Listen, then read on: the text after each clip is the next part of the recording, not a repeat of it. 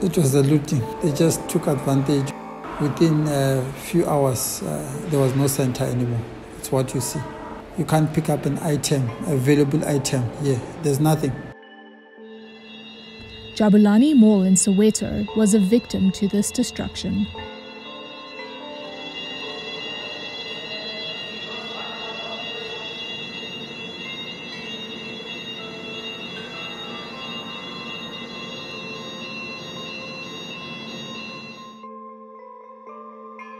I, I don't know how to explain it. It was just like a movie. It was mixed with shock. When you are watching something which is uh, directly linked to you, you, you get confused as well. To say, no, what, what's happening here? We, you don't understand. You just think of uh, all the hard work.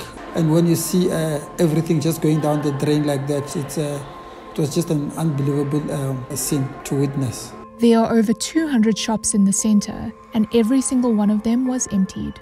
SAPS and the Metro Police, they tried to dispense the people, but uh, it was a lot of people. It was thousands and thousands of people.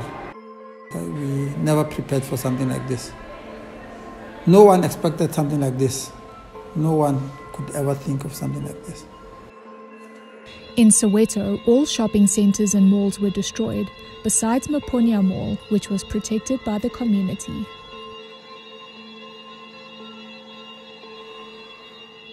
Nkuna said that the mall was built with the aim of bringing convenience to the locals. Uh, because people used to shop in the uh, town or uh, and uh, now the shopping was local. So all the shopping malls here have been um, vandalized.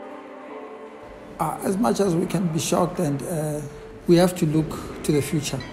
We, we can't sit back and look at the negative. We just have to look at a little bit of a positive going forward and uh, come up with a plan.